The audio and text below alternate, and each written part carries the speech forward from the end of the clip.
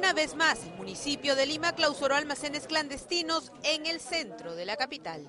Esta vez, en el tercer piso de la cuadra 7 del Girón Inambari, el fiscal procedió a cerrar este lugar en el que se almacenaban productos de manera ilegal. Un depósito que no cuenta con autorización porque la zona no lo permite, un depósito en el cual eh, también la Gerencia de Defensa Civil ha podido detectar que no reúne las condiciones de seguridad tienen almacenado productos de plástico, cables altamente inflamables y lo que se quiere pues es eh, evitar una desgracia.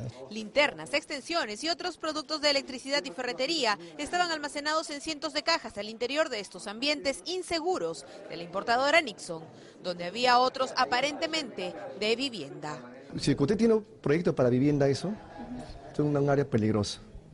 Tienes tu almacén al costado, tienes almacén arriba. Cualquier percance calamidad va a ser perjudicar lo que viene acá. Bueno, señor, haremos, lo que, haremos, haremos todo lo, lo, lo, lo mejor para que no, no pueda pasar algo malo acá. Ajá.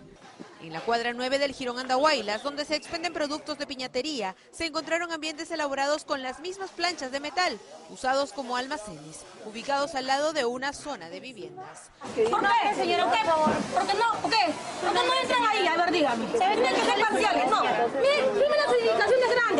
Como era de esperarse, estos ambientes donde se almacenaban gran cantidad de objetos plásticos tampoco contaban con medidas de seguridad. He encontrado dos trabajadores, dos jóvenes trabajadores en este en este, en este espacio, le he preguntado que cualquier siniestro, ellos son los agraviados, porque los propietarios no están acá.